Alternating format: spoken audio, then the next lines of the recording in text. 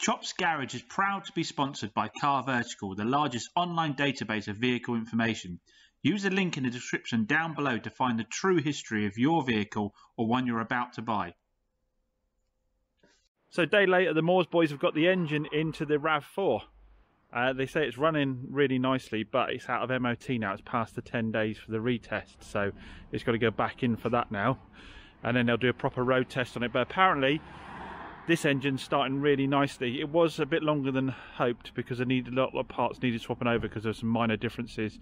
Um, and they wanted to swap all the best bits over to the other engine. So I think we are two days labour into this. So it's not going to be a cheap job. Right, we've got the Ignis Sport back. I'm taking that back. I've just dropped off the Kia for its MOT. We've got the catalytic converter. We had to do a cat on this as well on the Sport, which is why I did. Another reason I didn't do the tyres because uh, they were only advisory. We had to do a cat. Now I'm hoping this cat is worth enough to cover the cost of the new cat. Fingers crossed, but we'll find out when we get back. Anyway, let's see if this is as much fun as I remember it being. One quick thing: in the last video, I was showing you how great the Topdon uh, JS2000 jump pack was and told you what a great Christmas present it might be and said there was a discount code for you and then forgot to give you the code. it is a decent discount as well. So this is normally um, £89. They're doing a discount code so you pay £70 49 pence for it. So decent, decent discount. So I will put a link in the description this time. So look in the video description down below. There'll be a link for it.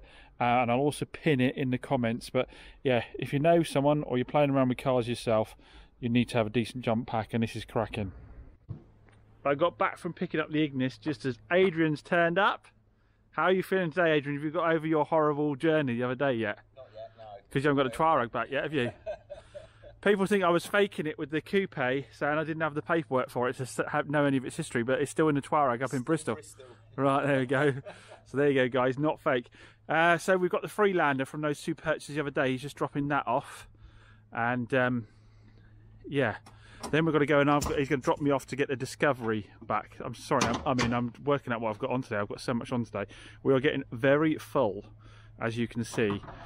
The uh, and I haven't covered some of the cars that are here yet either, have I? So we've got a few on their way out the door, but I have got probably, I think, in the region of 30 cars at the moment. I think I've only got three or four up for sale. I really need to pull my finger out today, get some photographs done, and get some cars up for sale. And you are going to see quite a bit of trading because I need to just trade a load of cars out because I haven't got time to do anything with them. So, uh, yeah, December I don't want to be too stressful, so I'm going to have to trade some cars out. But anyway, let's get that Freelander unloaded. So I still haven't finished photographing the uh, the mint Octavia yet. Or this I've had for a while now, haven't I? I haven't even had time to wash it and get it photographed. I really need to pull my finger out. Haven't advertised the S2000. Oh my goodness. Right, anyway, let's go and get this Discovery. So, back with the Discovery. I can understand why people do buy these. That does drive really nicely. It's such a relaxing, comfy drive. Um, obviously, with all work done on that one, it's particularly nice driving. Here's that invoice, by the way, for the Discovery. So it was only done on the 15th of the, of the 7th, 2022. That engine replacement by Land Rover, under warranty. Look at it. Goes 7,333 there, but it does go on for a couple more pages. Every gasket, seal, O-ring, injectors, absolutely everything. Load of other services as well. Um, so yeah mental. So yeah we've got to get that one cleaned up and up for sale. So I've had a call from Moores regarding the Rio we dropped off this morning. So the MOT on it. The oil leak and it was mentioned on the last MOT we found is just the actual oil filter. So we're going to do a service anyway that will solve that. Other things that came up front pads were worn down to next to nothing so we can do front pads on it. He said it wasn't an MOT thing, wouldn't necessarily failed it, but he said the rear um, brakes he didn't think were great, they needed servicing, so we're going to service those. It needed a tyre, well, an advisory for a tyre, so we could get away without replacing it, um, but you know my cars go advisory free. Well, with the exception of that one, because I'm not really sure I'm putting it up for sale. That might just stay in my collection. Um, and he did say also that he thought the squealing belt might be the fact the actual battery's a bit rubbish because the um, battery failed on the MOT. So potentially room for a battery, a tyre, a set of pads, a service on the rear. We're in for the oil filter service. So the car cost us two. I'm saying we're going to be at least a couple of hundred pound into that two two, with the potential sale price of it's going to have to go up at two nine nine five with an advisory free MOT.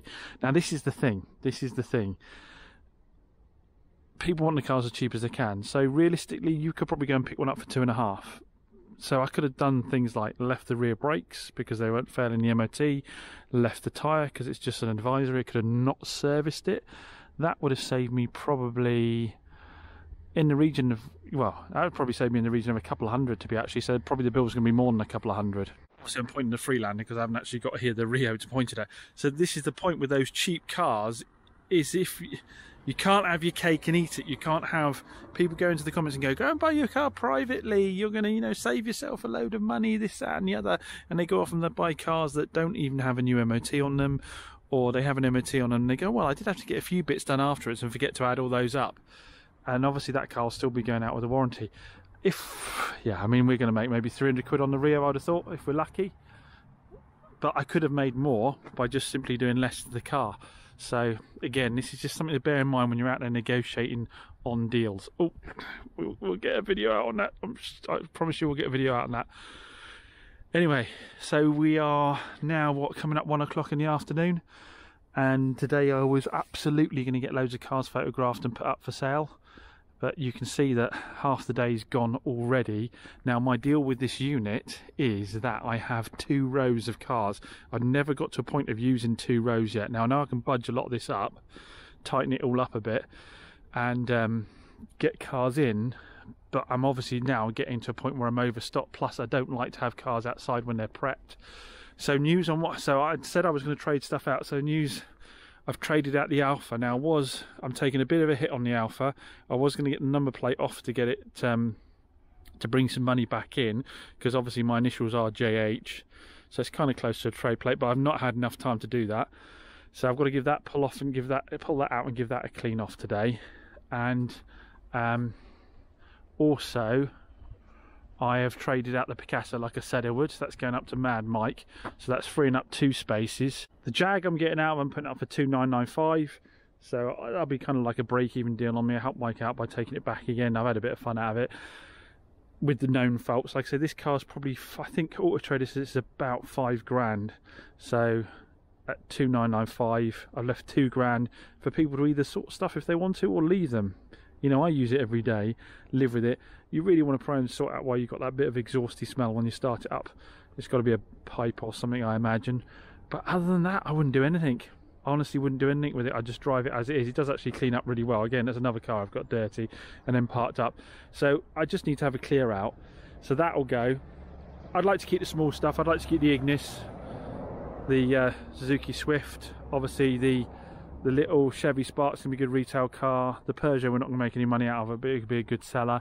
The Cougar needs to go down and get this DPF thing sorted out because I haven't got time to get onto that myself. A lot of you have been asking about the 155 in the corner. That's not my car. That is um, somebody I know of from the Alfa Ragazzi days who needed some storage space for the car.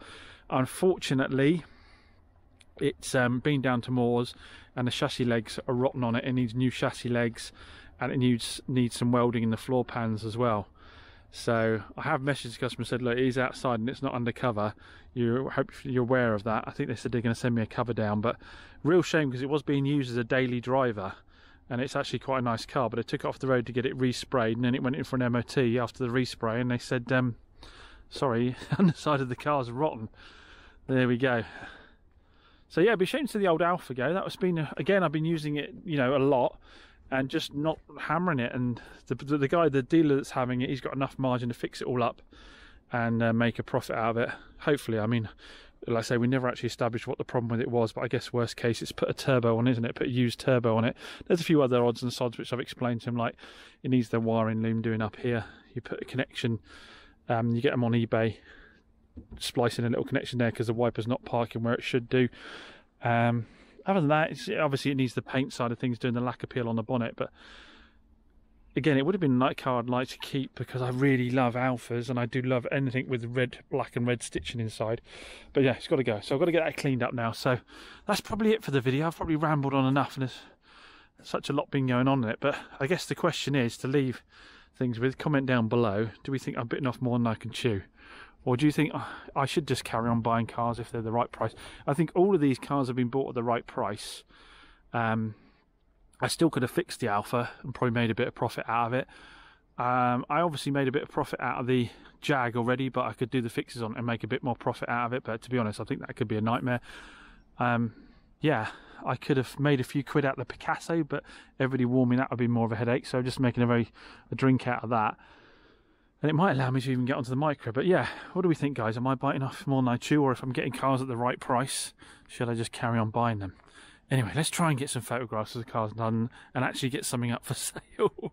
As always, thanks for watching, guys. If you have enjoyed the video, please give it a thumbs up down below because that's the biggest metric for helping the channel grow. The algorithm on YouTube will then recommend a video out to other people. And we are trying to hit 40,000 subscribers. I don't think we're very far off at all at the moment. I'd like to get it done before Christmas. So if you can you just check for me, do me a favour, check below. Are you subscribed? Because lots of people think they are and they're not. Remember, it doesn't cost you any money at all. It just means that you get notifications when the new videos come out, and you're able to hit the subscription button on the left hand side, and it'll automatically come up with the channels you're you're subscribed to, so you won't miss anything. Anyway, as always, as I said, thanks for all the support. Thanks for all the comments. I will try and get through and answer them all. Um, and I'll see you again soon.